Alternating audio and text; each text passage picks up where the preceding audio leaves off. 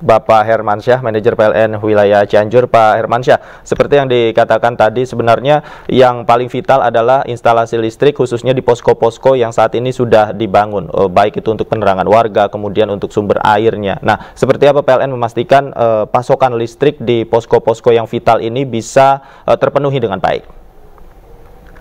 Ya, seperti yang seperti yang kami sampaikan tadi, Pak E, pertama yang perlu kami amankan dari awal itu adalah rumah sakit. Jadi ada empat rumah sakit utama, salah satunya yang paling utama tadi rumah sakit RSUD Sayang yang kami suplai listriknya agar bisa normal dan tidak terkendala listriknya. Sedangkan di posko-posko sendiri ini kami belum mendapatkan info apakah ada posko yang perlu disuplai oleh listrik e, yang jauh dari jaringan atau seperti apa seperti itu Pak. Tetapi uh, objek-objek vital nasional seperti rumah sakit maupun uh, data seperti repeater Polri sedang kami backup untuk bisa supply listriknya normal kembali. Oke, kalau untuk rumah sakit tadi Anda katakan empat rumah sakit di mana saja Pak? Uh, di Cianjur uh, rumah sakit RSUD Sayang, rumah sakit Bayangkara di Cianjur, rumah sakit Dr. Hafiz di Cianjur dan rumah sakit uh, Cimacan di Cipanas, WLP Cipanas. Oke, okay, uh, eh, Pak Herman, ini kami juga mendapatkan uh, visual ketika petugas PLN di lapangan begitu ya berjibaku masuk ke lokasi untuk memperbaiki instalasi listrik. Sebenarnya uh, kendala utama selain mungkin akses masuk apalagi yang ditemukan pada saat pertama kali memperbaiki uh, listrik di lapangan? Pertama akses masuk, yang kedua ya akses masuk ya karena longsor ya karena juga per, uh, peralatan mobil keren kami nggak bisa masuk ya pak. Hmm. Nah itu yang dua hal utama. Setelah itu mulai ditambah dengan kemacetan lalu lintas pak. Tetapi uh, yang dua akses utama tadi longsor maupun keren itu karena kalau tidak bisa masuk ya kami harus bawa secara manual gitu kami gotong ke lokasi. Oke, hingga saat ini tim masih bekerja di lapangan Pak ya. Ada berapa personil tadi?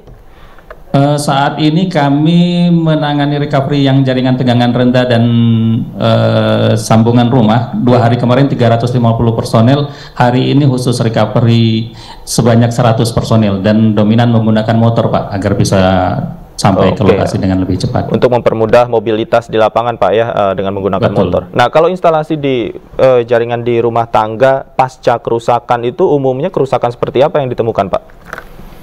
Kalau di sisi kami Pak, karena rumahnya roboh hmm. sehingga kabelnya jadi mendekati tanah, nah itu yang berbahaya, berpotensi eh, pada keselamatan. Nah, itu yang yang hal seperti itu yang sedang kami lakukan recovery, eh, eh, kami amankan agar tidak terjadi ke, kecelakaan masyarakat umum. Nah, ini penting diketahui juga uh, oleh masyarakat, Pak. Barangkali mungkin masyarakat yang tidak sadar ada kabel listrik di tanah. Nah, imbauannya seperti apa, Pak? Uh, khususnya untuk masyarakat yang saat ini masih bertahan di wilayah terdampak. Baik, uh, untuk masyarakat yang jika terjadi rumahnya roboh namun suplai aliran listriknya didapatkan masih menyala, kami mengimbau untuk mematikan dulu MCB-nya, pembatasnya sehingga uh, tidak berbahaya dan sampai rumahnya bisa normal kembali. Dan jika ada gangguan juga bisa uh, melaporkannya melalui PLN Mobile. Oke, okay, uh, eh, artinya PLN Mobile ini standby Pak ya, 24 jam untuk uh, menampung keluhan dan laporan dari warga? Ya, PLN Mobile selalu 24 jam Pak dan kami monitor terus Pak. Oke, baik uh, Pak Herman, uh, yang paling terakhir lagi sekarang yang menjadi fokus dari PLN khususnya untuk perbaikan instalasi listrik seperti apa Pak? Apakah ada wilayah-wilayah yang menjadi prioritas dikhususkan? Apakah semua sama Pak? Wilayah prioritasnya tadi pada Kecamatan Cugenang Pak ada beberapa desa yang memang terdampak bencananya paling parah ya Pak. Di situ juga jaringan kami. Nah, kami fokusnya ke sana Pak dengan 100 personil tadi. Oke baik kita harapkan uh, instalasi listrik khususnya bagi masyarakat terdampak ini bisa kembali pulih. Terima kasih Pak Herman Syah atas informasinya bersama kami di Breaking News. Selamat siang.